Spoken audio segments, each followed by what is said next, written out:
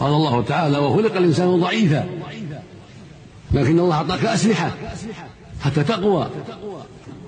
أعطاك الأسلحة التي بها يقوى قلبك وهي طاعة الله والإكثار من ذكره والتفكر في عظمته وما له من الحق عليك وأنك صائر إليه وأنك مسؤول.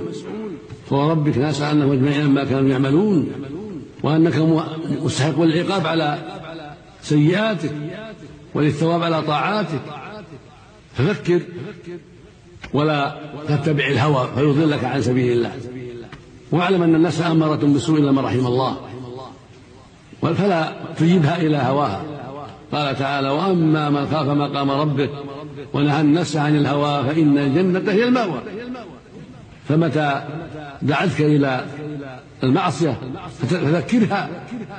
بأن الخطر عظيم وأنها منهية عن معصية الله وأنها متوعدة بغضب الله وعقابه إلا أن يعفو الله وأنت لا تدري.